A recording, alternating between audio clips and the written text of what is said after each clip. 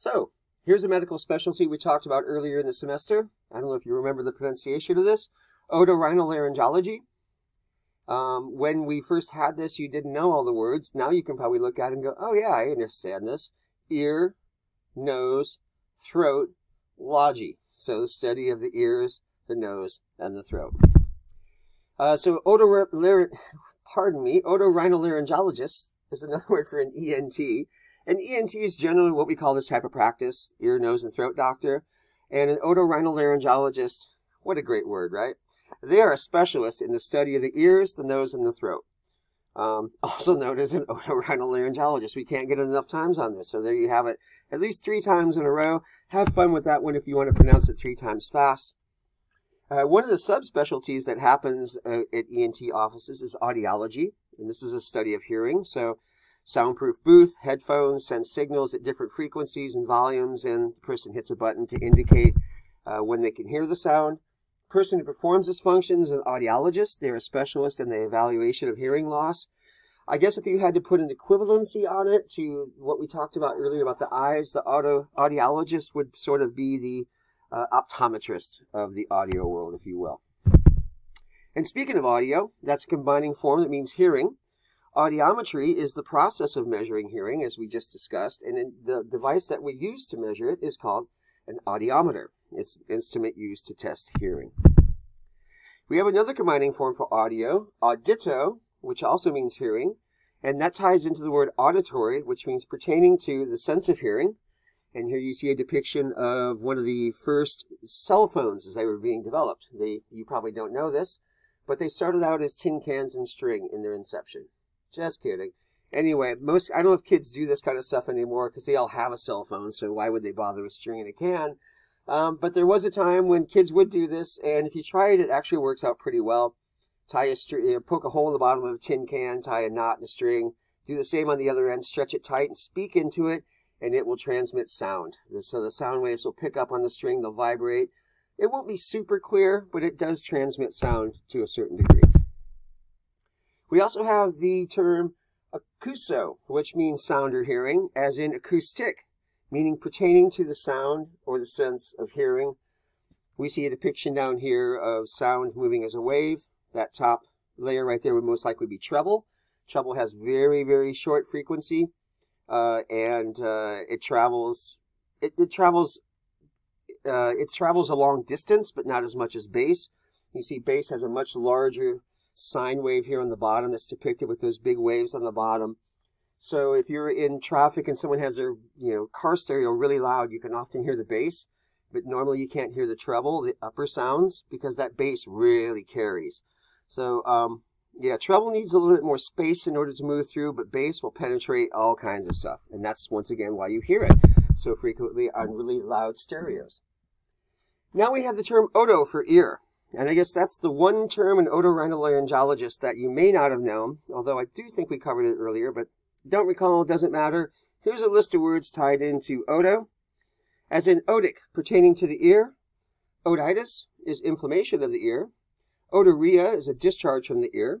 Otalgia is ear pain or an earache. Otoplasty is surgical repair of the ear.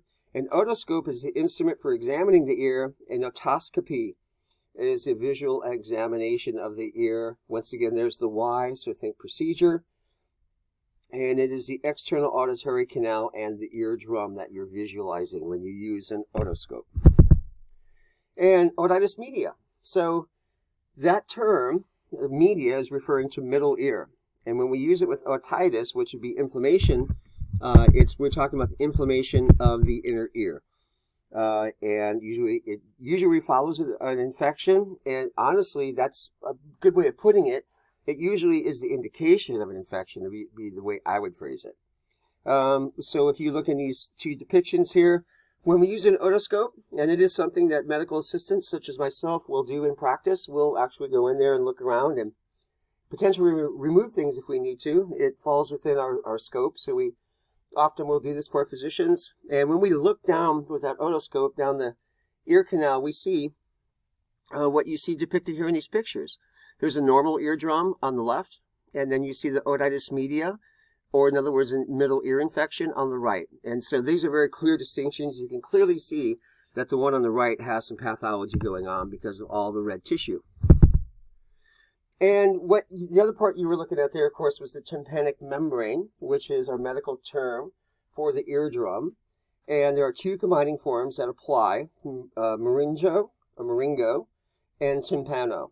And the Myringo is how I pronounce it, but I have heard Myringo, so I'm just throwing it out there. You may hear people pronounce these different ways. Either way, they're talking about the tympanic membrane. This is another one of these situations where we have mix and match with the combining form, so either is appropriate. You could have myringitis or tympanitis. Either way, be inflammation of the eardrum. You could have a myringotomy or a tympanotomy. In either way, that would be incision of the tympanic membrane. You could have myringoplasty or tympanoplasty. It needs to be surgical repair of the tympanic membrane. And on it goes. So you can just keep adding suffixes and uh, come up with all kinds of compound words. And just keep in mind, tympanic membrane is the medical term for eardrum.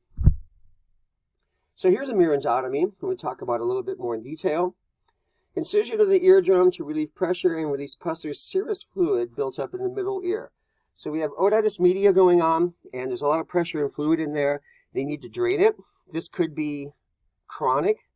This could be acute. So it might be something, you, your third ear infection of the year, and then they want to drain it. Some folks live with chronic ear infections, and so they were going to place what are called PE tubes, and that's what you see illustrated here. Um, and so those are pressure equalizing tubes. They serve the same sort of function that I mentioned earlier regarding eustachian tubes, but um, they have an additional function of helping the ear uh, drain fluid from the middle ear right behind the tympanic membrane. So that gives two drainage points, eustachian tubes and through the PE tubes. Um, so in these cases, as I said, repeated ear infections don't respond to antibiotics or there's a chronic condition that requires constant draining of the ear. They'll put PE tubes in. They can be taken out when necessary. And the beautiful thing about an eardrum, even if you should happen to rupture an eardrum, they will repair themselves usually quite effectively unless there's extensive damage.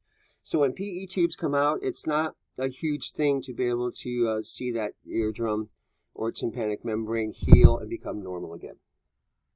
Of course, anything that affects hearing we call hearing loss. It means a decreased ability to perceive sounds and in comparison to what we consider to be normal. So one of the major reasons that we have hearing loss, and this would be uh, what we would call conductive hearing loss, would be too much earwax or cerumen in the ear. Now, this also falls into the scope of medical assistance. I mentioned earlier removing things from the ear. And one of the things that we get to do, uh, or at least I used to when I was in practice, is remove earwax. There's a couple different ways of doing it. The way you see it depicted here is usually not the way it's done, and so we uh, almost never go in there with a curette and drag it out. We have a different technique, and we'll show you in a moment. But before we do, I want to just tell you about conductive hearing loss. This is a treatable type of hearing loss. It's prevented, or that prevents it. Let me rephrase that. Something is preventing sound from reaching the ear. It's usually an obstruction in the ear canal. Very often it is cerumen. And, or there could be damage to the eardrum or ossicles. The causes can be a perforated eardrum, ear infection, foreign bodies, fluid in the ear, and earwax. So once again, conductive hearing loss. This is not permanent, it's repairable. Usually, as we said, a perforated eardrum, which is a ruptured eardrum, um, infection, as I said, or any type of foreign body that's stuck in the auditory canal can cause conductive hearing loss. Our method of removing things, usually cerumen, this is our primary method for removing that, is called lavage. In this case, it would be an oto lavage. And lavage means to wash out or irrigate a hollow body cavity or an organ. So you can have and maybe you've heard of people having their stomach pumped. That's a gastro lavage. You can have a colo lavage, so a lavage of the colon to remove anything. Uh, in this case, it's otolavage. Anyway, the takeaway is the lavage is this washing out a hollow organ to remove something that usually is not supposed to be there, or it's there and it won't go away on its own, so we're there to help it out. Another form of hearing loss is a little bit more serious. This is sensorineural hearing loss. This is hearing loss caused by damage to the inner ear or the nerves to the brain. So this is neurological damage. This is not the matter of some tissue being able to heal after it perforates or something like that. This is a more serious condition. Sound is typically conducted normally through external in the middle ear, but in this case, the neurological connection to the brain has a deficit and it's not functioning. So this might be the result of aging. Uh, it could be illness or tumors. It Could be head trauma. Noise exposure, in my case, I have central neural, neural hearing loss and mine's to noise exposure because of all those years of traveling as a musician in a rock band and standing in front of very loud drum kits and guitar amplifiers every night, my ears now ring at about 1K at that frequency constantly, and it never goes away. Those of you who use um, earbuds, very, very loud, will probably experience the same sort of thing someday, so be careful with those. Those can actually damage your hearing. So there's some noise exposure ideas that might cause central neuro, neuro hearing loss. Also, there are certain drugs, especially antibiotics, that can cause this type of hearing loss. So when you get those long brochures from the pharmacist, and some of us never read them, it's a good idea to look them, look at them.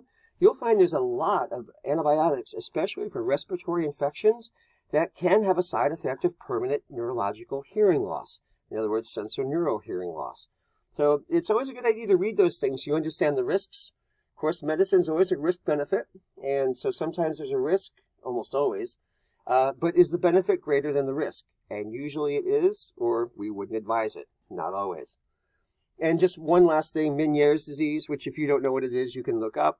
Meniere's disease is uh, sort of a complex of things going on within the inner ear, and that will also lead to sensorineural hearing loss in certain cases. A Rinne-Weber test is one way to test to see if it's central neural versus conductive hearing loss. So this is hearing acuity. Have vibrating pitchfork. You don't see this done much anymore. Uh, you, and this is how they differentiate between the two. If they hit the pitchfork and they touch it to the mastoid bone behind your ear on top of your head and you can hear it, you have conductive hearing loss. Something's blocking transmission. If they do the same procedure and you can't hear it through the tuning forks in the skull or in the mastoid bone behind the ear, then it's nerve damage. And that's an old, antiquated way of deciphering between the two. Some doctors still use it, and it's effective. Presbycusis this is the hearing loss due to aging. And I am going to speed up a little bit here because we only have a few minutes left and just a couple of slides, and I want to get them all on. So we'll just run, kind of run through these last few words. Once again, presbycusis, hearing loss due to aging. Anacusis is total deafness. So here, nothing is working, and there are ways of getting around it. A cochlear implant for some people works well. This is an electronic transmitter that's surgically implanted into the cochlea of a deaf person to restore hearing. So there's a component that, that is inside of the ear, and then you see this contraption. And in the picture here, this is an older, antiquated system. You can see there's almost a what looks like a microphone, and it's sitting right in the ear, or it kind of looks like a hearing aid. And that picks up sound, transmits it through this device, and then tries to get it through the inner ear. Um, it, it's done through vibrations. That's one form of cochlear implant. Uh, then we have photophobia, which we already talked about. That's abnormal sensitivity to light. There's an equivalent for sound. It's called phonophobia. It's an abnormal sensitivity to sound. So just like we mentioned with photophobia, certain sounds will be intolerable for this person and, and could be the result of the same things we talked about earlier could be migraines or lots of sound exposure or, you know, lots of reasons for it. Uh, just be familiar with these two words. They will be on your exam this week. Vertigo. It's a great movie by Alfred Hitchcock if you've never seen it. And in its own sense, it is a sensation of moving around in space or a feeling of spinning. It results from the cochlea that we talked about earlier in the inner ear. There are small stones and they're called otoliths and they drift around in fluid. They touch certain nerve endings and that tells us which way is up sometimes one of those rocks will get stuck in a way that it's it's triggering the uh, the nerve that it's that it's near, and it starts a spinning sensation. Sometimes cases of vertigo can last for days, actually hours, days, weeks, months, or even years. I've seen people have had it for a long, long time. They often look like they um, may be intoxicated because it affects their balance, but usually it's just vertigo. Can be a tough one to fix, uh, and it's definitely something that needs a doctor's attention. Tinnitus or tinnitus, however you want to pronounce it. I described earlier I have my own hearing loss, and mine is ringing noise that's heard in one or both ears. It's constant. Even in quiet environments, it never goes away. And these things are, once again, causes. Injury, disease process, toxic levels of medications can cause it also. Here's some abbreviations. I'm going to let you read those over yourself. This concludes our final lecture of the semester. Congratulations, you did it. We got through all of them. Next, we're going to start studying for the final exam, so be ready for that. Hope you're all doing well, and uh, we'll see you soon. Thank you.